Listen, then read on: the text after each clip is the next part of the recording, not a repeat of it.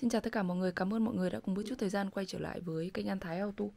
Trong video ngày hôm nay em đang gửi tới mọi người một sản phẩm đó chính là két nước của Hyundai Solati 2020 đến 2022 Sản phẩm là hàng liên doanh cao cấp anh em nhé. Đây, cái két nước của con này rất là to luôn. Cái tai cài của nó cũng khá là rộng à, với cái thiết kế là hai bên ờ, tai của bạn của két nước thì là được thiết kế bằng nhựa ABS cao cấp. Phần thân của két nước là được thiết kế 100% là hợp kim nhôm cao cấp anh em nhé. Đây anh em cùng nhìn cận cảnh của sản phẩm này.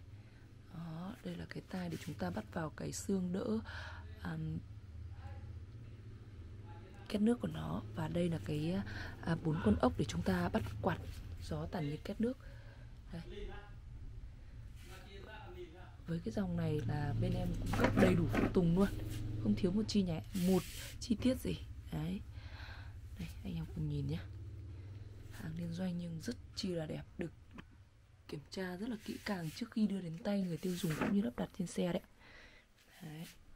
thì à, vừa rồi này em vừa giới thiệu sơ qua anh em cái sản phẩm đó chính là cái két nước của con Hyundai Solati anh em quan tâm tìm hiểu tư vấn về sản phẩm thì hãy liên hệ với em theo số 0769086333.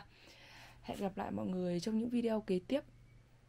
Hỗ trợ tư vấn lắp đặt thay thế tại gara ô tô BMT số 1 ngõ 319 Tam Trinh, số liên hệ là 085 672 7222. Em xin cảm ơn, hẹn gặp lại mọi người trong video tiếp theo.